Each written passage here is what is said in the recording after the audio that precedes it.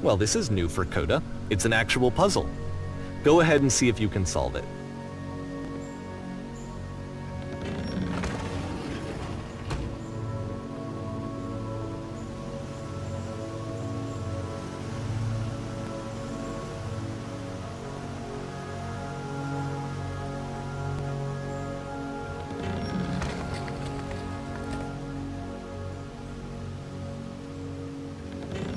Don't forget that solution, because we're going to see this puzzle again soon.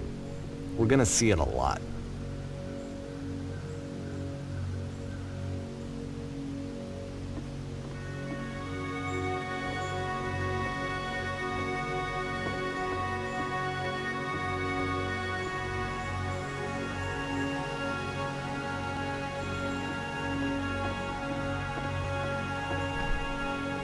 So that seems to be it, right? You walk down a corridor, you solve a puzzle, you get to the end. Simple enough. Alright, now I'm going to modify the game again, so that when you press the use key on your gamepad, it'll remove all of the walls from this room.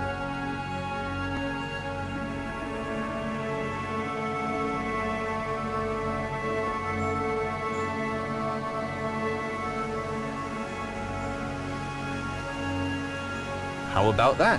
There was more to it than we had any way of knowing. I actually find it funny that this game comes after the Stairs game since they essentially convey the opposite idea. So, uh, in the Stairs game, a dull exterior concealed a rich interior. And then, in this level, a dull interior hides this fantastic outer world.